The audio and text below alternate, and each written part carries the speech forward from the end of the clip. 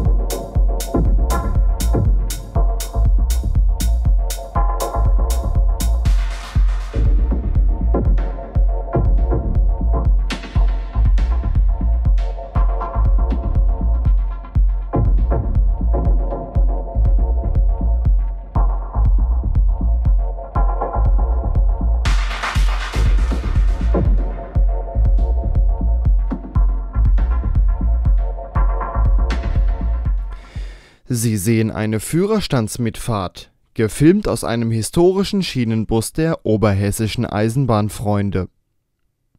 Sie sehen die Bahnstrecke zwischen Friedberg und Hanau. Dieser Film wurde im Dezember 2014 aufgenommen. Die Oberhessischen Eisenbahnfreunde sind ein gemeinnütziger Verein in Gießen, der historische Schienenbusse der 50er und 60er Jahre erhält mit diesen Schienenbussen machen sie regelmäßig Sonderfahrten. Mehr Informationen dazu finden Sie im Internet unter www.oef-online.de www.oef-online.de Diesen Film der Führerstandsmitfahrt finden Sie auch im Internet zusammen mit noch anderen Führerstandsmitfahrten www.rumsenden.de www.rumsenden. Die Musik stammt von www.mixotic.net Mixnummer 272